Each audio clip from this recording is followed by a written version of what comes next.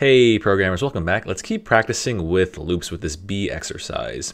So if you haven't given this exercise a shot, what you'll want to do is definitely pause this video, go down to the description, hit the link, and then work on this exercise on your own, right? Give it an honest shot. And if you get stuck, come back to this walkthrough. And so let's go ahead and work through these together. And I'll start with this five multiples of. So I should create a B loops folder to work through. And I'll also create an individual file for every single problem over here. So looking at the first problem here, what I should do is take in a number as an argument and print out the first five multiples of that given number. And the function doesn't need to return anything here, it should just print to the terminal. So looking at the first example, right, my input number is 7, so I want to print out the first five multiples of 7. So that's 7, 14, 21, 28, and 35, and so on. I have a very similar example in the case of my input number being 3, right? I print out the first five multiples of 3.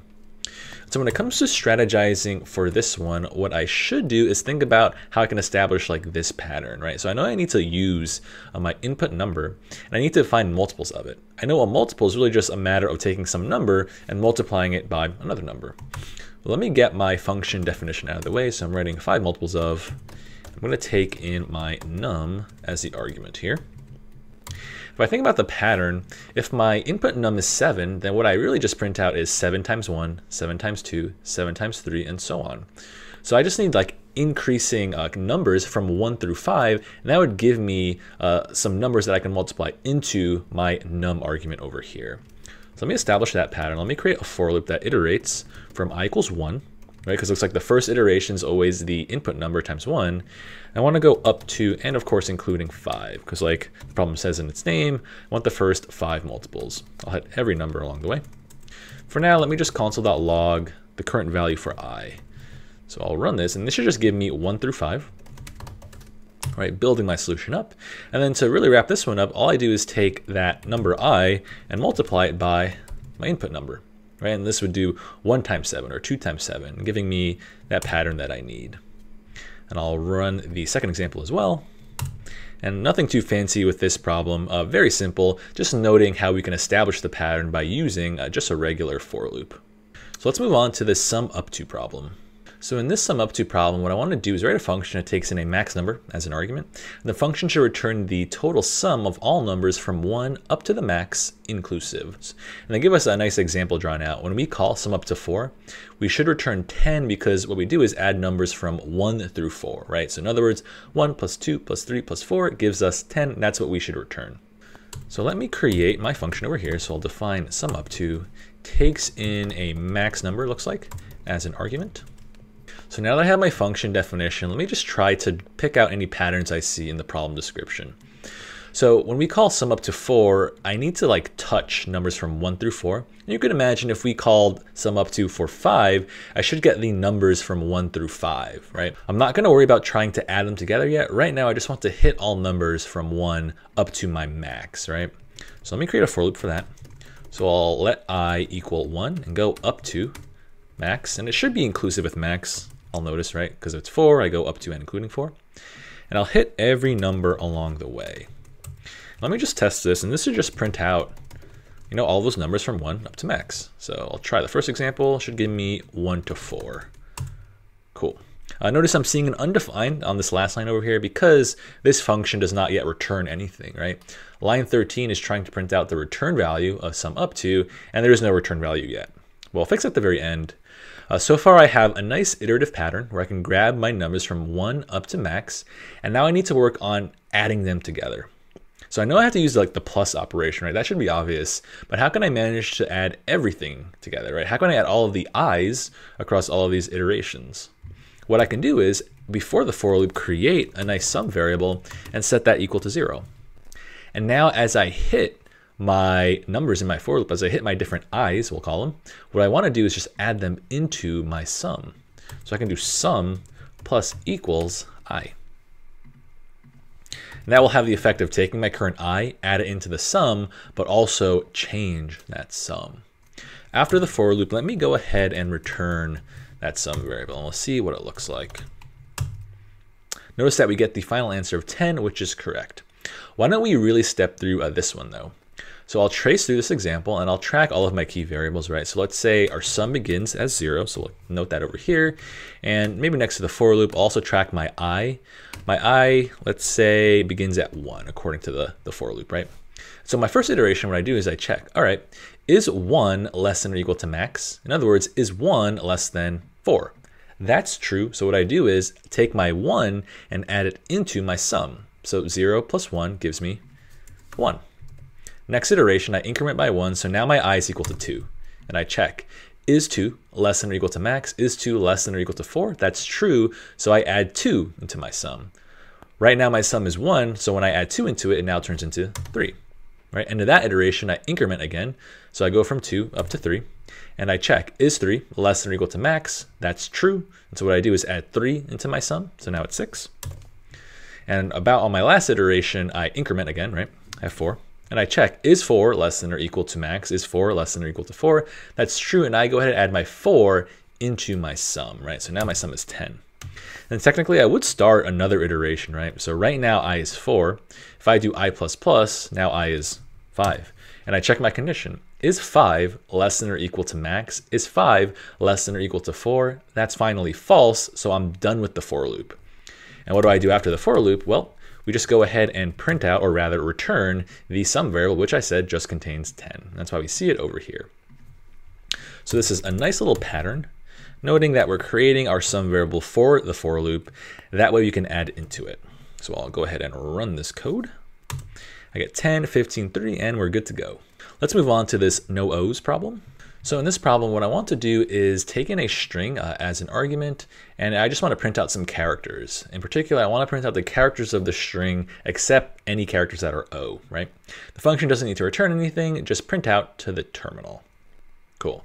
So I know I'm going to use a for loop here using that classic string iteration pattern, but I'm going to need some additional logic to avoid some O's. So let me lay down my function definition. I'm going to take in the string as an argument. And let's start by just hitting every character of our input string. I know I need to be dynamic here because I'm not sure how many characters the string will contain. So I need to write that nice for loop where I start at the first index, which of course is index zero, and I loop up to but not including the length of the string, right? Like we always do. And then from there, let me start by just printing out the current character I'm iterating through, right? So I'm going to console.log string at index i. Notice on the first iteration, right, when i is 0, that means string at index 0 would be c in this example. When i is 1, that means string at index 1 is going to be o, and so on. So this will have the effect of printing out all characters no matter what, which is close, but not exactly what we want, right? So maybe just running the first example. I print out code, but I want to avoid the o's. So I just need to add some conditional logic, right? I only want to print out the character if the character satisfies some condition, right? If the character is not an O. And so I can express that pretty easily. I can say, hey, if the character that I'm looking at right now, if it's not an O, then feel free to go ahead and print it out. So I'll run that code. There we go. And I'll run the second example. It should work very similar, right? So we're checking our condition as we go. And I'll want to maybe clean up my code a little bit. So since I'm saying this expression twice over, like string at index i, I'm going to call that a char. And of course I would need to create that char variable. So I'll derive it over here and say char equals string at index i. I think this is a little cleaner, right? So I'm hitting every character of my string. And for every character I check, if that character is not an O, then I'm okay to print it out. And I'll run this code, make sure it still works. Code and school, and there we have no O's. All right, let's work on this odd sum problem. So in this problem, what I want to do is write a function that takes in a max number as an arg, and what it should do is return the total sum of all odd numbers from 1 to the max inclusive. So this should seem a little familiar, right? It's very similar to our sum up to problem that we did previously, but this time I only want to add the odd numbers, right? And so let's go ahead and lay the foundation, and I'll start defining my odd sum function, takes in max, and like before, why don't I build this up in pieces, right? So I know I want to hit some numbers from 1 to max, so I can write a classic for loop to do that. Nothing fancy, so let i equals 1 go up to, uh, and including the max, they tell me inclusive. So I'll run this as it is. So this will just quickly check if I'm correctly iterating from 1 up to 10, or 1 up to my max in general. Cool. So what I want to do is narrow this down to the odd numbers, right? I don't want all numbers from 1 to 10. So I'll use a conditional here. I'll check, hey, if my number divided by 2 is equal to 1, that must mean it's an odd number, right? And if it's an odd number, then maybe I'll print it out, right? So I'm just console.logging to kind of debug my code as I go. Cool, so now I get all of my odd numbers, uh, very familiar to what they say in the example, right? I'm hitting numbers. And from here, now I want to have the effect of adding them together, right? And here's where you combine all of the logic, right? To solve new problems, I'm really just reframing how I solved my previous problems. I know that in my old sum up to problem, to add things together, I used an adder variable. And so I'm gonna adopt that same strategy here, right? Before my for loop, I'm gonna create that sum variable set equal to zero. And I know by the end, I'm gonna return it. But hopefully along the way in that for loop, I add some numbers into my sum. In particular, I only want to add the odd numbers, which I know are captured right here.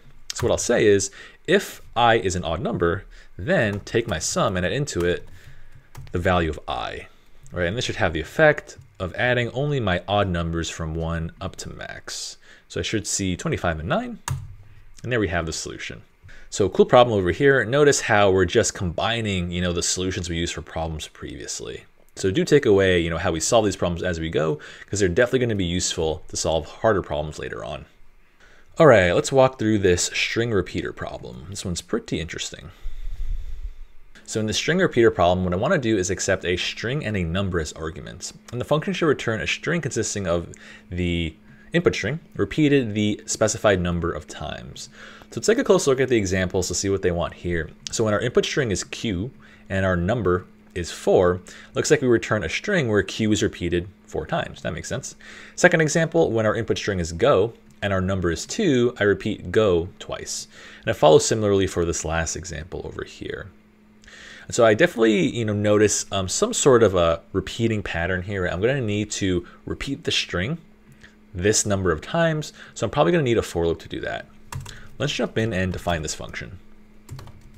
And so let me create a loop that just iterates this number of times, right? So I'll create a nice for loop, set i equal to 1, and I'll go up to and including my num. So when i is going to be 4, I get four iterations, right? One, two, three, four. I'll hit every i as I go. And what do I want to do for every iteration? Well, I want to take my original string and combine it with like another string that I'm going to eventually return.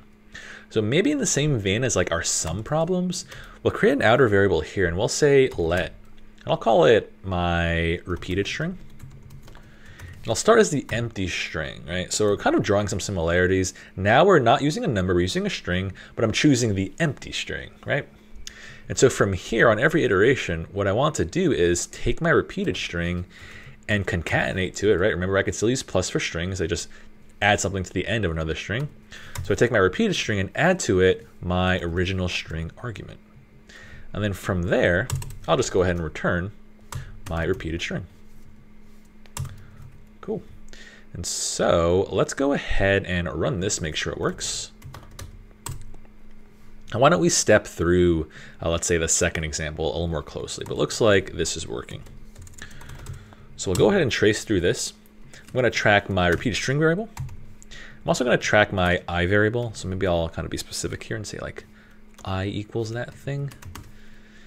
And yeah, let's step through it. So in the first iteration, I have i equal to 1 and I check. Is 1 less than or equal to 2? That's a true statement. So I run the code inside, which says, hey, take your repeated string, which is right now empty, and add to it str. Remember that str is just our plain old string argument, so I just take go and add it to repeated string. And then from there, I increment my i. So i was 1 previously, have to add that in, but now it's going to be 2. Nice. And then from here, what do I do? Well, I check, is 2 less than or equal to 2? That's true, so I take, again, my input string of go and add it into repeated strings. So now I have go, go. I increment my i, so now i is 3, and I check, is 3 less than or equal to 2? That is false, and so I'm done with this for loop. Finally, I just return repeated string, which now has go-go inside of it. So fun little thing in this solution is we're using our for loop strictly for like the number of iterations or repetitions of the code that it gives us. We're not actually like using i to do anything specific with it, right? The i is really just for the sake of iterating. On every iteration, I just take my input string argument and add it to my repeated string. So now let's walk through this product up to problem. Should be very familiar. So just from the name alone, you probably guessed that this is going to be very similar to sum up to. Uh, this time I want to grab numbers from 1 up to the max, but multiply them together, right? So if someone asks for product up to 4, you do 1 times 2 times 3 times 4 and return that final answer, in this case 24. So nothing too fancy here, we just have to understand some math. Uh, let me define this function. I'm going to take in my max like always, done this a few times now. You're going to become pros in writing for loops and I'll iterate from 1 up to the max. Cool, so this gives me all numbers from 1 up to the max, and now I want to have the effect of multiplying them together. So if I draw you know, patterns from before, I want to create an outer variable that I want to return at the end. This time I'll call it product. And you're going to have to be very deliberate here. If I make product equal to 0, things are not going to work out, right? Because if I make product 0, I know I want to have the effect of multiplying stuff together. When you multiply anything by zero, it stays at zero, right? And so instead, what you want to do is set equal to one. Because if I have my initial product as one, when I multiply into it, I can actually accumulate a running multiplication, right? And so nothing fancy inside the for loop. On every iteration, what I do is take my product and multiply into it, being sure to change the product, so times equals the variable i. I'll run this and we should be good to go on this one, right? Just a spin-off of sum up to. Again, key things to watch out for. You want to initialize your product once before the for loop and then return it after the for loop, right? Otherwise, you're going to have some like partial iterations. All right, let's go through the last problem here, and that would be our div by either function. So in this function, I take in three numbers as arguments. I have num1, num2, and max in that order. And here, what I want to do is print out some data, so I don't need to return anything here. But I need to print out all positive numbers less than the max that are divisible by num1 or num2, right? And so I definitely have some complex logic to establish here, but let's build this up in pieces, right? So one thing I notice is all of my numbers range from 1 up to the max, right? Because they say positive numbers less than the max. So that means numbers 1 through 16. But among those numbers 1 through 16, I only print out certain numbers, right? So every number I print needs to be divisible by num1 or num2. And all of these numbers uh, satisfy. So let's start to tackle this one define my div by either. It's gonna take in num1, num2, and my max. Nice. Let me start by just hitting positive numbers less than max, right? So I'm building this up in pieces. So let i equals one, because one is the first positive number, go up to max, but don't include max, so they say less than max. And then hit i++ plus for now. Cool. So let me just try this first example and see if I have the correct iterations. So this should just print out 1 up to max. I'm not really paying attention to num1 and num2 yet because I want to make sure everything works as I go. So I'll run this. Cool, so I get 1 up to 15, including 15, that makes sense. And now I need to add some more logic. And so they say that I want numbers that are divisible by num1 or num2. So all matters of like divisibility should really remind you of the modulo operation. And so I want to reason about my number i, right? And so if i is divisible by num1, then it should have a remainder of zero when I try to divide it, right? So classic modulo pattern over here. So the way I interpret this so far is if i is divisible by num1, then print it out. So let me just try that as it is. So, so far this code should print out positive numbers less than 16 that are also divisible by 4. see that, right? So yeah, this is correct, right? 4, 8, 12. But I also want numbers that are divisible by num2.